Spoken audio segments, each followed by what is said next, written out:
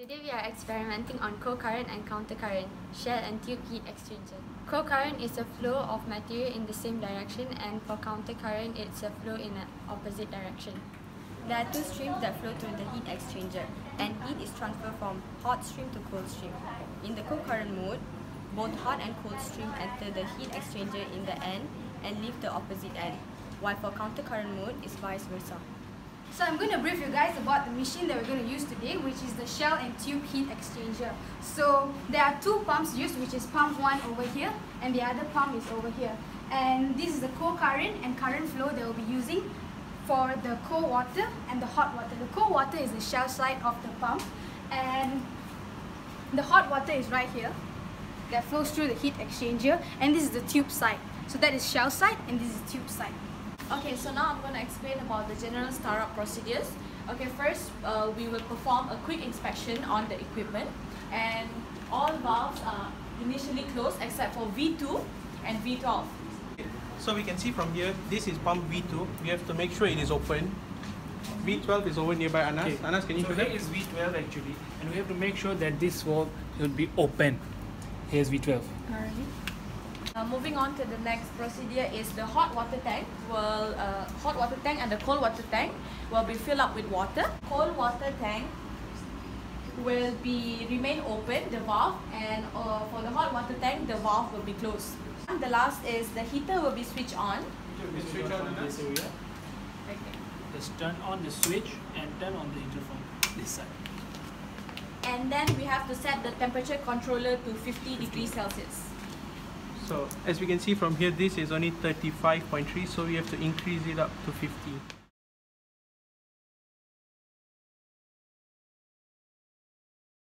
So now I will explain about the general shutdown procedure. So to shut down the equipment, heater, pump P1 and pump P2 and main power is switched off. Okay, turn it off.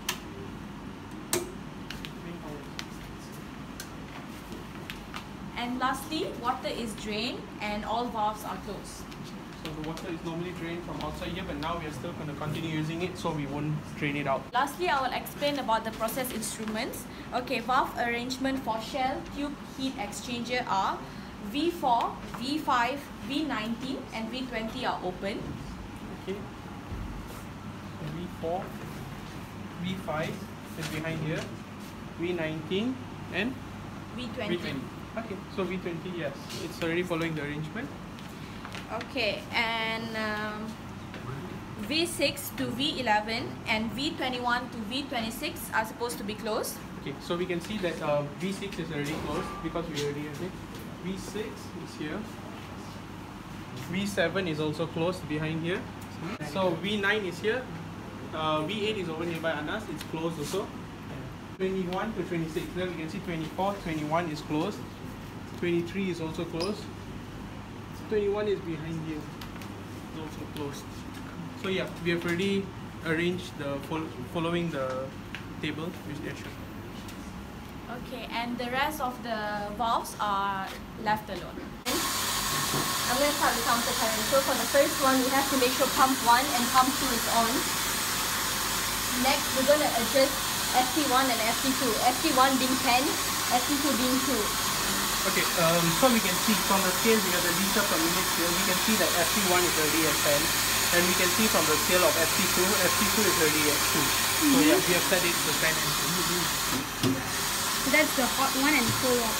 So next, V3 and V14 is adjusted to obtain a desired flow rate. So once you on the same pump, all the pumps are on, you have to wait for the readings to be steady. Once the reading is steady, you record the readings. After that, you change the flow rate accordingly. So- and you do the same process again. You, do, you record the readings for TP1, TP2, TP3 and TP4. Okay, so an example to change the flow rate is like, so the next flow rate we need that uh, FT2 is basically 4 uh, liters per minute. So we turn the valve, we set it at 4. Make sure there's no parallax error and, or anything. Okay. Yeah. Okay. Let us further check it and now you can see that it's already at um, 4 liters per minute. Okay. We have to stop, we have to wait for the finish. So from this T1, T2, T3 and T4, you, you tabulate the data. But it's still fluctuating, so you have to wait until it's steady. So now for co-current, you switch the valve to co-current shell and tube heat exchanger. Okay. So you, you, you repeat the same process where FT1 is 10 and FT2 is 2. You wait for the readings to be steady and you record the readings once again. Okay, about the valve being open and closed, it's all in the lab manual that was given to us. So it's in the table there, so we can look from there and see. There's labels all over here, the V1, all about valve, the counter and co-current. All the labels are written on it. Yeah. Since now it's all steady, you can start recording. Once this is done, you can repeat the same process and change the FT1 to 8 and FT2 to 4. I'm gonna explain the error in experiment. The error found in experiment was due to parallax error. When adjusting the flow rate, eye level should be perpendicular to the scale. This lead to inaccurate data being uh, recorded. Okay, so this is the result based on the previous experiment. FT1 and FT2 is the flow rate at the hot side and the cold side. And then TT1 and TT2 is the hot temperature of the inlet and the hot temperature outlet. TT3 and TT4 is the cold temperature inlet and outlet. So to, to start the calculation, we want to change from liter per minute to kg per second. And we will do it for the hot side and cold side according to the conversion here. Moving on, this is what we want to calculate the heat transfer throughout the experiment and of the hot side and the cold side. In order to do that, we need to use the general formula of Q is equals to mc delta T. M is the, ma uh, the mass flow rate based on the hot side or cold side. And then Cp is the heat capacity of water, which is 4.185. And the temperature difference of hot side, which is TT1 minus TT2. And you are able to get it for the hot side and the cold side accordingly. The next one is we want to calculate the heat loss. The heat loss is given by the formula of hot heat transfer at the hot side minus the heat transfer at the cold side.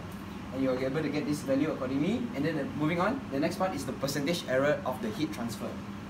But the formula is given heat transfer at the hot side minus the heat transfer at the cold side divided by the heat transfer at the hot side times 100%. And you're able to get the value accordingly. The next one is the Q average. The Q average is said to be, the formula is said to be heat transfer at the hot side plus with the heat transfer at the cold side divided by 2. The next one is the temperature difference at T, uh, T1.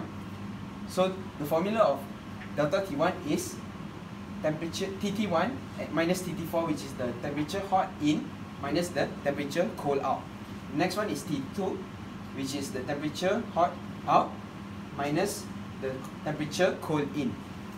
And then the next part is the temperature delta T LMTD. LMTD means log mean temperature difference. And the formula is given by T, T, delta T1 minus delta T2 divided by the ln of delta T1 divided by delta T2 which can be obtained above. And I will pass it to my friend to explain forward. Okay, thank you Ryan.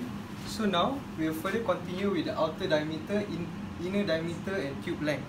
This tree is needed to calculate the outer surface area which we use the calculation of pi dl.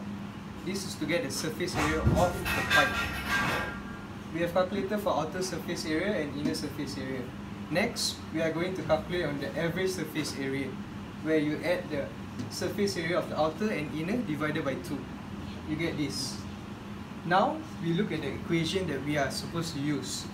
U, which means the heat transfer coefficient, equals to Q average, the average of the heat exchange rate, divided by area of the average area of the tube times the mean temperature. This you get a calculation for your heat transfer coefficient. If you do not know what the equations or what values you have recorded, so we're going to start at the basics. This is the general heat transfer equation. So we start with Q equals to U A times delta T. If you reshuffle this equation, you get this. Q stands for heat exchange rate, U stands for heat transfer coefficient, A stands for average area of the tube, and delta T uh, stands for the mean temperature.